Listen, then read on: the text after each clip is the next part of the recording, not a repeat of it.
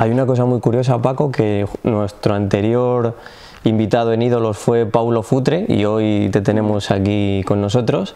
Y justamente te quería preguntar por eso, por esa acción que hubo famosa con, con Futre, ¿cómo nos lo contarías? No, eso es muy sencillo. historia. Mira, eh, Pablo Futre, más él le ha dicho muchas veces que él cuando llega, había llegado del Oporto, que habían ganado creo que la, la Copa de Europa Sí. con Mayer, eh, argelino, que era otro genio. Que le robaron el balón de oro, nos dijo que ese año se lo iban a dar y que no sabemos qué hizo Berlusconi, que al final se lo dieron a No, Gullit. no, pero yo creo que posiblemente, posiblemente en esa época el balón de oro solo era para jugadores europeos. ¿eh? Claro, por eso. Claro. Que Futre lo tenía ganado, faltaba por votar un, un periodista, periodista portugués, y se ve que no le y votó creo que a Gullit, que fueron los puntos que le Sí, hicieron justamente ganar. posiblemente. Y entonces, bueno, pues eh, eh, Futre llega del Oporto. Antes me había enfrentado él ya eh, contra Paulo en una eliminatoria de la Copa de la UEFA, Sporting de Lisboa, Sevilla, ¿no? también. Y, bueno, todavía, eh, y luego eh, con el Oporto, con el Oporto, yo creo que también sí estaba en el Oporto, también los eliminamos de, al Oporto eliminamos de, de la Copa de Europa, ¿no? También jugando. Bueno, entonces Futre llega, lo ficha Gil, fue, Sí. digamos, su abanderado, ¿no? En, el- en su proyecto como presidente, tal, etcétera, etcétera, después de, de, de adquirir el club que entró en concurso de acreedores, recordáis, bueno, pues eh, entonces ficha, empieza a fichar grandes jugadores, tal, y ficha Futre. Entonces, no sé por qué circunstancias, eh, eh, bueno, aparte que en Madrid nosotros siempre tenemos buenos jugadores, eh, en el Atlético debían inculcar que uno de los referentes de Madrid era yo. Entonces él, él me comentó, Futre, que soñaba conmigo, ¿no? que iba al baño, que tenía una fotografía. Una fotografía en el baño y digo, "Coño, yo, Pablo, yo sí sé que eres tan ídolo, que yo soy tu ídolo de esa forma, te lo hubiera dedicado, ¿no? Pero bueno, siempre habrá tiempo. Y, y entonces, bueno, había ya jugando, ya había pues nuestros piques tal. Entonces ese fue un balón, lo que te decía, yo jugaba de libre, balón largo, yo lo corté. Entonces nos habían expulsado pues a esto, a Tendillo, ¿no? Porque creo que fue estaba jugando con 10 jugadores, ¿no? Entonces vino, Futre vino a presionarme, bueno, de aquello que, que amaga con amagas, nos liamos un poquito, pero nada, nada especial.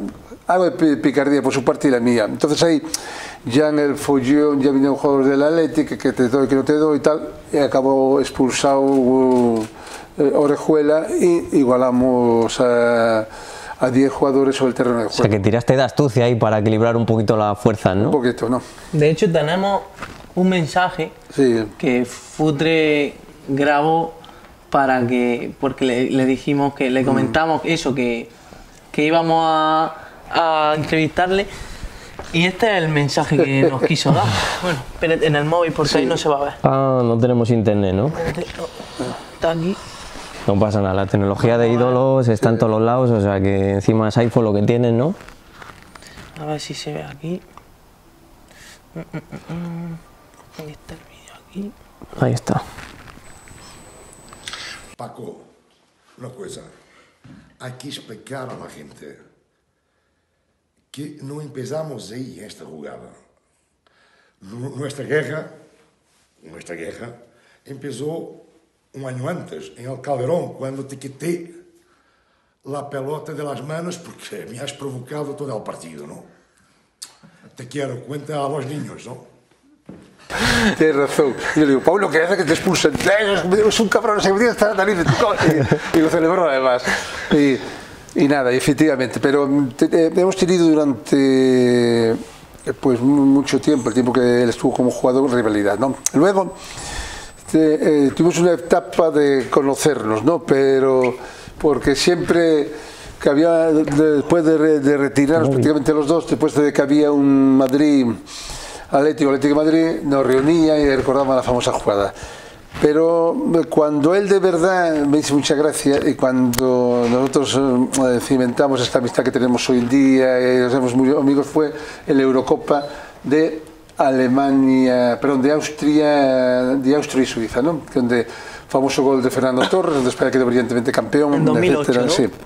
Ahí fue donde España después, ya consiguió su primer gran título después de, del famoso partido de la URSS en, en el Bernabéu. ¿no? Entonces, un año, un mes prácticamente conviviendo juntos, un día llega y me dice, "Joder, Y yo que tenía un concepto tan diferente de ti, resulta que eres un tío de puta madre, Paco, no sé qué, tal. Y nos hemos mucho muy amigos y, y la verdad que, aunque él sufre mucho por su Atlético de Madrid, pero él sabía que en el fondo si hubiera jugado en el Real Madrid hubiera sido... mm, Hubiese ganado el balón de oro, quizá, ¿no? Balón de oro y hubiera ganado muchos más títulos, claro. Hablando justo de esto, permíteme primero, Alvarito, se me ha venido a la cabeza otra jugada también muy famosa, eh, un rebote que se pilló también tremendo, Jesús Gil. Eh, ¿Tú te acuerdas de esa? Sí, no, era, fue lo mismo, ¿no? Fue prácticamente lo mismo o algo... Que mira, tenemos, tenemos aquí la imagen, digamos, la habrá visto mil veces, pero que fue también muy icónica esa reacción de Jesús Gil Sí, después, no, ¿no? es que fue, ese fue un, también un contraataque. Yo que yo jugaba fuera del área de Manolo, ¿no? Entonces, ¿qué he hecho? Una obstrucción, ¿no? Fuera del área y una obstrucción. ¿Cuál era la ventaja? De que antes no, no, era- no había la ley del último jugador, ¿no? Entonces yo he hecho una falta muy... Eso antes no era roja, es no roja, curiosísimo, entonces, ¿no? pero, pero una falta no violento. Yo le, le hice la obstrucción con el pecho. Entonces, ahora hizo, pum, corté la, la, la ocasión manifiesta de gol fuera del área, ¿no?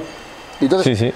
Pero eso- claro, era un gol claro. Vamos, Bueno. era un mano a mano. Había algo que sobrepasarte, claro que sí. mano a mano. Sí, sí, es verdad, Mano a mano, Lo, gol, habría- lo habrías parado, ¿no? mano a mano, gol, había que verlo. Igual Como la de sido gol. Fe del otro día, más o menos, que era el último Sí, hombre. también podía haber sido gol o no sido gol. Exactamente. No, no, ahí no está nada escrito. ¿no? Entonces, pero bueno, no fue la de Fede, fue una entrada por detrás, le, le puso la zancadilla, vale, correcto. Y además, eh, creo que ha sido una jugada muy inteligente, sabía que se iba a la calle, pero eh, en esa jugada yo lo que hice fue ponerme delante y hacer una obstrucción, ¿no? Sí.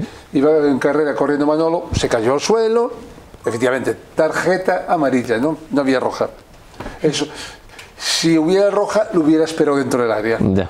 Hubiese cambiado de estrategia, ya no hubiese. Dentro del área y del punto de penalti para atrás. ¿Pero Claro. por qué? Porque eh, si ahí o, o bien te puede tirar y tú ya se ha cortado un poco de ángulo, o si te quieres regatear, puedes llegar al balón o Claro. alejarlo del ángulo de tiro. Entonces, bueno, pero ¿qué pasaba? Todos sabemos lo, lo- lo que pasa en realidad que hay entre el Atlético de Madrid con el Real Madrid. Gil se veía que podía ganar ese partido, esa jugada, y entonces por eso cogí esos rebotes. ¿no? ¿Alguna vez llegaste a hablar con Gil de esa acción? No, ¿Te es dijo que me quiso fichar. eh, Gil. eh, ¿Te han querido fichar todo? Poco al el- final. el Gil, Cruyff. Estando en el Real, en el, yo en el Real Madrid, Sí, sí. había un artículo que era del 2006 que te tenías que acoger, entonces él mandó un emisario al hotel Air Wilding con 100 millones de las antiguas pesetas para que yo me acogiera y yo me llevaba 100 millones de Joder. pesetas. Pero tiene principios. Si Sí, no es sí, Real sí. Madrid, pues no. Entonces, ahí, por eso también Gil estaba un poco rebotado conmigo. Pero Ah, eso fue antes eso, Sí, ¿no? claro, O sea, ah, que eso. tiene una intrahistoria Claro, entonces pero, esa jugada. eh, ¿no? Es cierto que yo siempre he tenido buena, a pesar de, de todo que ha hecho por esa boca, tal, yo siempre he tenido muy, muy buena relación eh, con, con él, con sus hijos y con el Atlético de Madrid siempre tenido una relación fantástica. ¿no? Es un equipo que, que admiro, que me parece un super equipo y, y le tengo, bueno, pues ese cariño y esa admiración. ¿no?